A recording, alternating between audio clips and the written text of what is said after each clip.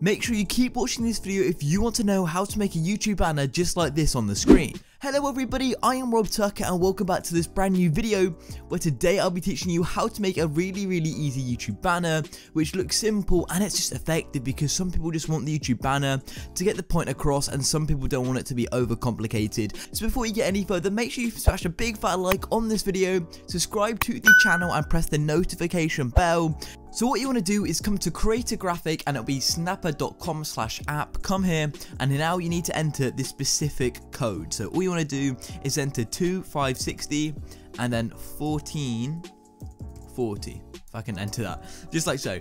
This is basically just the graphic size for YouTube, and otherwise it won't work, and it hasn't actually got this as a pre-made one.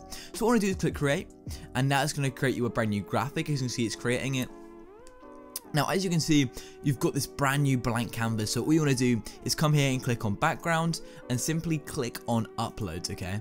So it'll take a minute to load, um, but before you come here, you need to come here and simply search for a YouTube banner template. Just like so, search for that and find one of these. So I really recommend using this one. It's really straightforward. Uh, this one here. Oh no, that's the wrong size. Make sure it says 2560 by 1440. And you need to use this, okay? So what I want to do is right click on it and then click on save image as. So all you want to do is come back to Snappa and simply click on upload an image and simply find it in your downloads folder. So now I've done that, it's going to upload it. I've actually um, already tested this out, that's i.e. why this is here, because I use it quite a lot. Um, what you want to do is simply click on here and it's going to load it in. So this is one I made previously, um, but yeah. So this is what I've currently got. So this is the first thing you want to do. Now you want to come to the shape section and simply find this shape, which is going to block out this bit because this isn't needed. Um, you need to use this middle bit, but you can need to remove the other bits. So what I'm going to do is get two squares just like that and get another one, shapes here. And simply position them here um, and then drag across just like so, just so it hides at the bottom because I think it's just unnecessary. Um, and it just makes it easier and it keeps your keeps your eyes in the middle which is what you need. So what I'm going to do is simply come to shapes again uh, and draw another one. So you've got this one but you can actually change its color. So you can click up here and change the color or you can add custom ones. So I think I should have a custom one from earlier. I really quite like this gray I think I, I don't know how easy it is to customize um, it's quite picky. But I quite want a dark grey sort of colour. Um, so I've decided that I'm actually just going to go into make a custom colour. So all you're going to do is click on custom and you can choose. So as you can see, I'm going to make it not black, but almost black. So I really like a sort of dark colour scheme on my channels. Uh, so then you can do that. And then all you want to do is come up here and click down so it goes behind the others. You may need to click it twice, the two and then just drag across just like so. And now this is what your banner is going to start looking like. So it's getting a really good idea of how it's going to look. Uh, so the next thing I tend to do is get the text tool. So here I want to click on add a heading as you can see, it's going to be grey, and you can change it to any colour by clicking on here. So I'm going to go for white for this. It's going to make it pop the most because it's on a dark background. So once you've got that, all you want to come here, you can change the font to literally anything. There are loads, and I think they should import if you've got custom ones on your computer as well, I believe.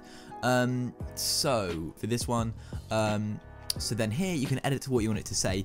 So I'm just going to go for Rob Tucker, which is my channel name, and then I'm going to increase this font size by holding on and it's just going to increase it itself so it's really easy just by holding on here.